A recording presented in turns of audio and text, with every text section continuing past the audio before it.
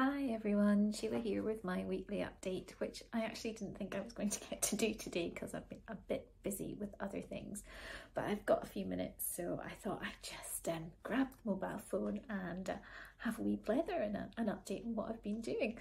Um, so this week again has been another busy week, although it was the summer solstice this week, um, which is amazing that we're halfway through the year. So quite a bit of reflection this week on what I've done over the year, which I think is quite a lot and obviously what I've got planned or what I need to plan going forward. So there's some things that I do really need to, um, yeah, just get a grip and, and do, um, which I will do.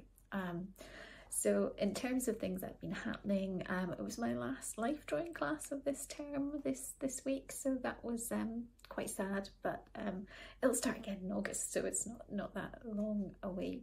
Um, also, it's the Glasgow International Festival um, on just now, I think, for the next couple of weeks. So hopefully over the weekend, I'm actually going to go and get to see some some art in person, which will be great because there's always some really, um, really interesting um, and different things at that, that festival. So I'm going to have a look at that this weekend.